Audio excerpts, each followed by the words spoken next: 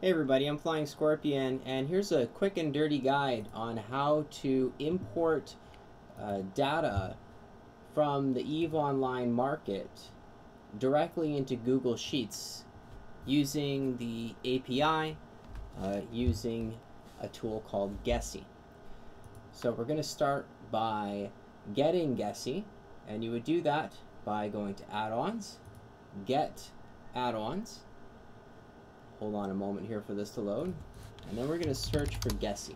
you go ahead and you install that. After you've installed it, go to Extensions, GESI, Authorize Character.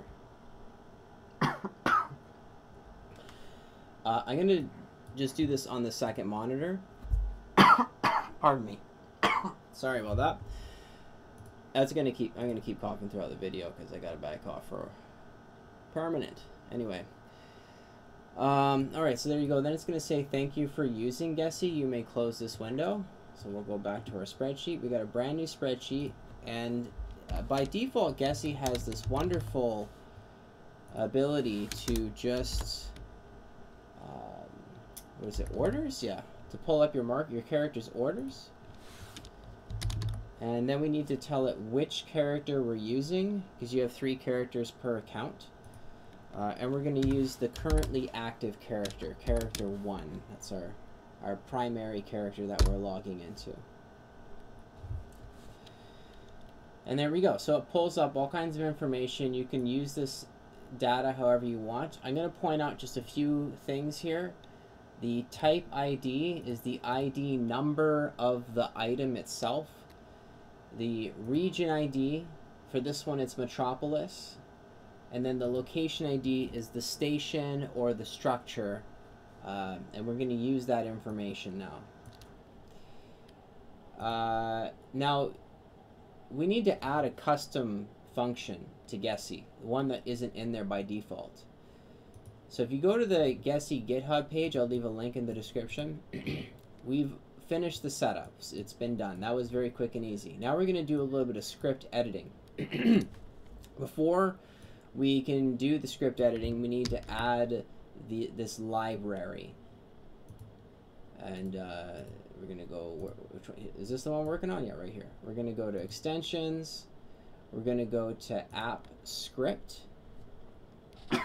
Pardon me. Sorry. and we're going to add that library. We're going to look that library up. Here it is, version 48 GESI. We're going to add the library and now it's done. Now, I went to the GESI Discord and I asked the developer, Black Smoke, who's thankfully very helpful and was very quick and responsive. Thank you very much for your help. Uh, he said, go to the pinned messages on the channel, and he's got uh, a custom function right here ready for people to copy and paste.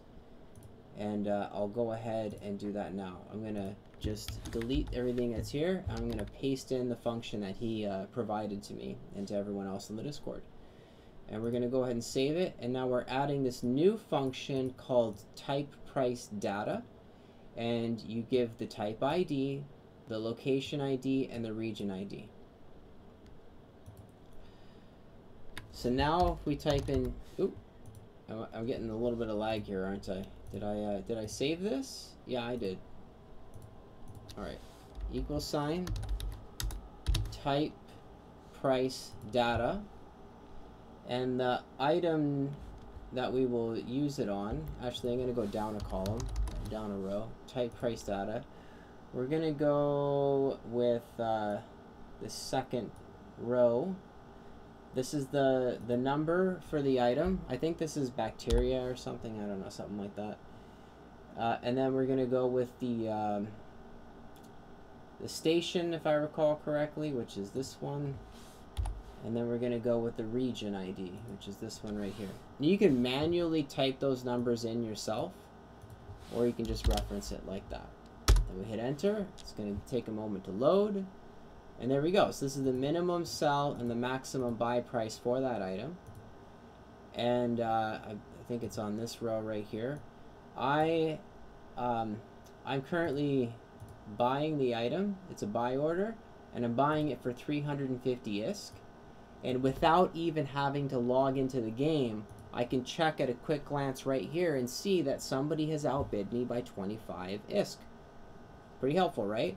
Now let's say you don't want, this takes up four cells, right? And if we want to duplicate this across down here, it's not going to, I don't know if it's going to match up very well. So I'll show you a way to change that.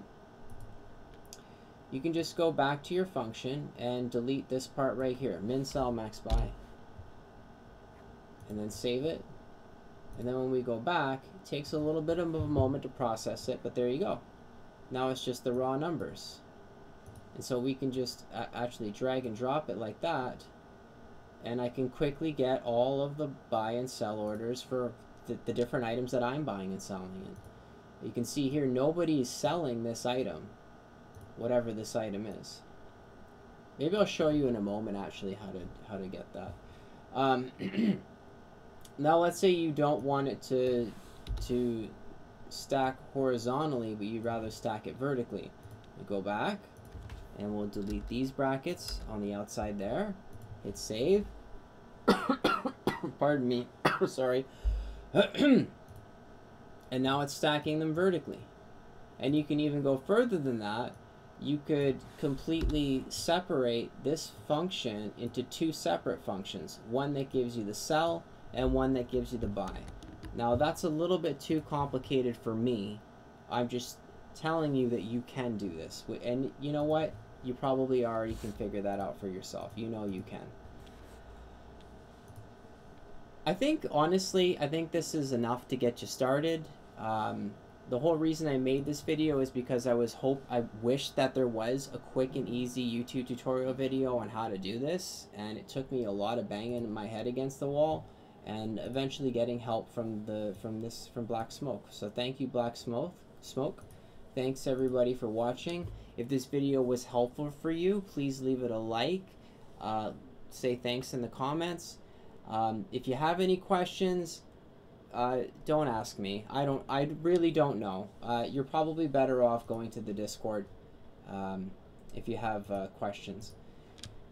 Okay, uh, this should help you get started, and uh, goodbye.